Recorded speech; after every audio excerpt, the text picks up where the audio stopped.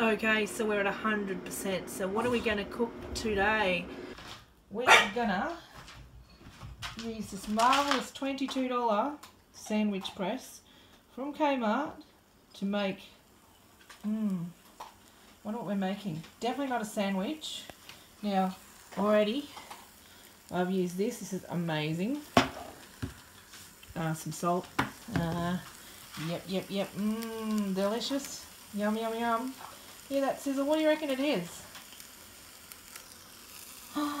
Oh my god, it's steak covered in dirt. No, it's actually that seasoning. Like, what you do is you put the seasoning on, and then when you think you've put enough seasoning on, you chuck some more on. And then you just kind of do this, and in about five minutes or ten minutes, it's going to be cooked. Or cooked enough to not give me food poisoning. Not too much to see, but yeah, it's steak and it's cooking and it smells nice.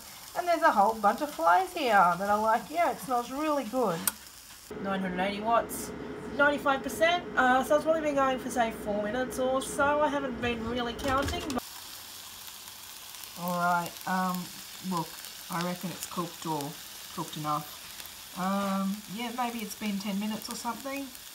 Yeah, maybe it's not properly cooked, I don't know, this is a bit thicker than I usually get, but mm, yeah, I'm going to turn it off now. But before I turn it off, I'm going to tell you how much is left on the iTech World 1300p. Oh my god, mm -mm -mm. okay fly, go away.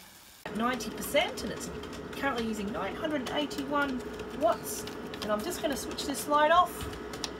Anyway, uh, look, it's cooked. Uh, at least cooked enough to not make me sick. Um, yep, I'm going to tuck in and um, yep, as I said, it used 10% of my iTech Core battery, which was amazing. And I've already plugged it back into the solar, so it's already charging up um, so I'll replenish it before the end of the day.